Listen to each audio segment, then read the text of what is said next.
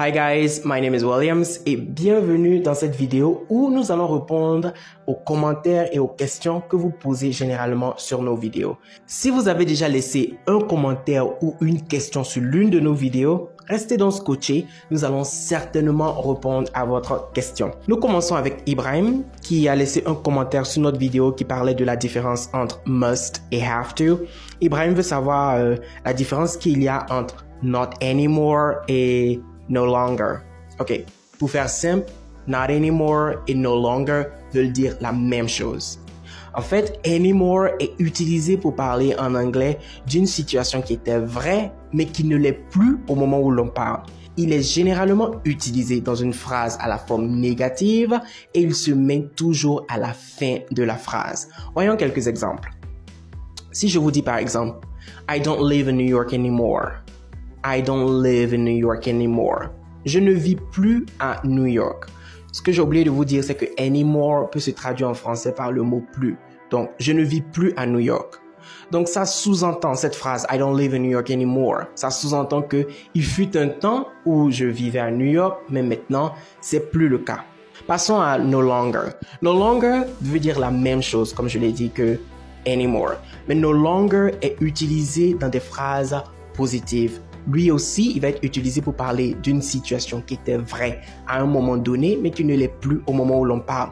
Il est utilisé dans des phrases positives et généralement, il se met après le sujet. Si dans notre phrase, le verbe principal est le verbe to be, il va se mettre juste après le verbe to be. Voyons quelques exemples. I no longer live in New York. I no longer live in New York. Je ne vis plus à New York. She is no longer sick. Remarquez, je n'ai pas dit she no longer is sick, mais she is no longer sick. Parce que dans cette phrase, le verbe est to be. Donc, no longer va se mettre juste après le verbe to be. Alright, je crois que c'est tout pour cette question.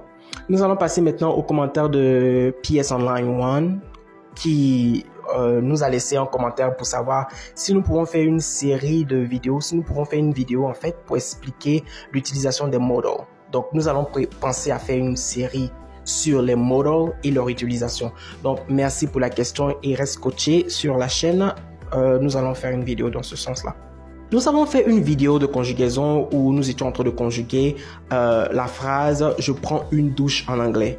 Et je, je prends une douche en anglais, nous avons dit I take a shower. Et Jamie Kahn 3 pose la question de savoir que veut dire I take a bath.